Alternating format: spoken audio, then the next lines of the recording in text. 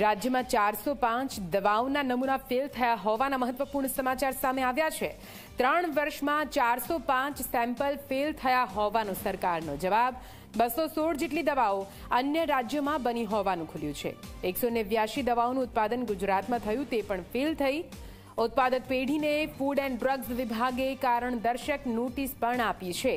સત્યાવીસ ઉત્પાદકોના પરવાના સ્થગિત કરવામાં આવ્યા. અઠ્યાવીસ ઉત્પાદકો સામે કોર્ટમાં કેસ દાખલ પણ કરવામાં આવ્યો હોવાની વિગતો વિધાનસભા ગૃહમાં ચાલી રહેલી કાર્યવાહી દરમિયાન સામે આવી છે.